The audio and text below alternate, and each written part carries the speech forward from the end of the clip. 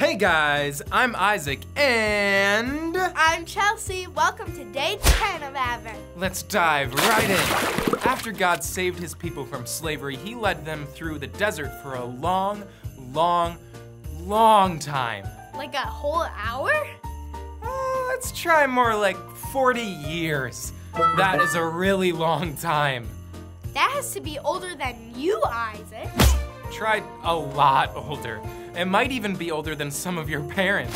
Ask them and let us know what they said in the chat. Anyways, imagine how the Israelites felt. They were really hot. They were dirty. Yeah! And they were so hungry. So when God said, enough is enough, it's time for your new home, just imagine how excited they were.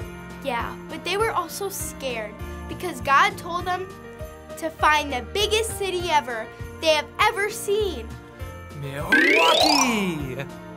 Nice try. The city was called Jericho. It had walls so high it looked like it reached up to the sky. God's people asked their new leader Joshua what they should do. Luckily, God had told Joshua exactly what the plan was. I have a feeling that this isn't gonna be the plan that Joshua was expecting. You've got that right. This is what God said March around the city's really high walls for seven days. And on the seventh day, march around the city seven times and then blow your trumpets. Um, like this? You got it.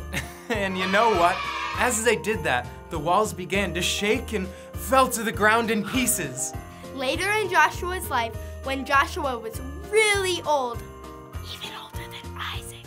he reminded God's people of all God has done for them and that they need to stay strong.